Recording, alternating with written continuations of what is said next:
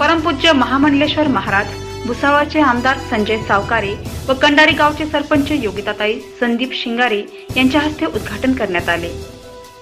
नंतर छत्रपती शिवाजी चौक येथे सत्कार समारंभ पार पडला. यावेळी कंडारी ग्रामपंचायतचे सर्व सदस्य गावातील नागरिक मोठ्या संख्येने उपस्थित होते. भुसावळ येथील आज रोजी कंडारी येथे लेवा पाटील समाज मंगल कार्यालय व सांस्कृतिक समाज मंगल कार्यालय उद्घाटन पार पडले.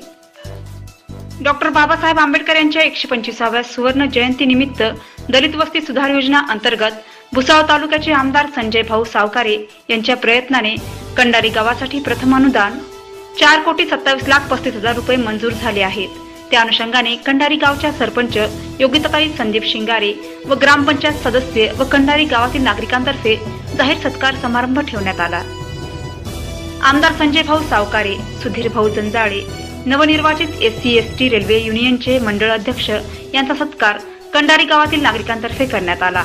यावेळी प्रथम अनुदानामध्ये प्रथम दलित वस्ती सुधार योजनेअंतर्गत हातात घेतले जाणारे काम जेतव बौद्ध विहार भव्य दिव्य बांधणे दर्शनी गेट पूर्ण कंडारी गावातील रस्ते ब्लॉक क्रॉकरी इत्यादी कामे नंतर दुसऱ्या अनुदानात पुढील नियोजित काम करण्यात येतील असे त्यांनी सांगितले. महावाईसाठी धम्मरत्न गणवीर भुसावळ